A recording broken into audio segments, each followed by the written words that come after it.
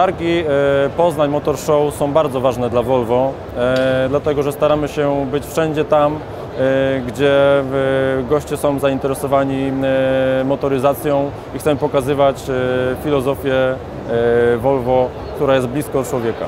W tym roku oczywiście prezentujemy nowy model w gamie Volvo, czyli e, V60.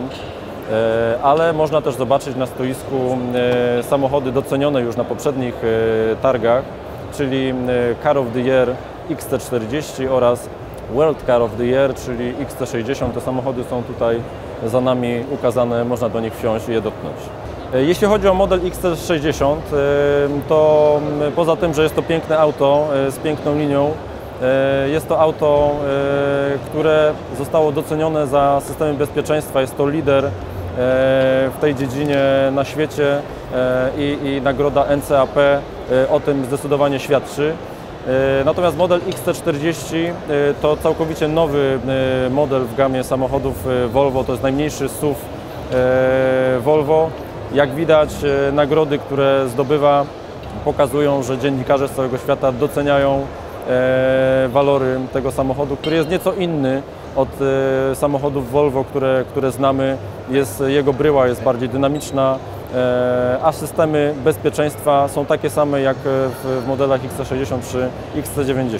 Na Poznań Motor Show Volvo otrzymało e, od kapituły Międzynarodowych Targów Poznańskich e, nagrodę za stoisko, za skandynawski design i klimat. Bardzo się cieszymy, że, że kapituła nagrodziła nasze, nasze stoisko e, za, za te elementy. Staramy się być tam wszędzie, e, gdzie można e, pokazać e, i samochody Volvo, i skandynawską filozofię, e, która, e, która z tą marką e, idzie w świat. Cieszymy się, że, że takie e, rzeczy również są doceniane na zewnątrz. E, Mamy wielu gości, którzy e, przychodzą, bardzo dobrze się tutaj czują, doceniają ten klimat e, szwedzkiego designu, mogą się tutaj u nas na naszym stoisku napić kawy, zjeść bułeczkę cynamonową i to daje, do, dodaje nam tego ludzkiego wymiaru do motoryzacji, z czego Volvo słynie i z czego jest znane.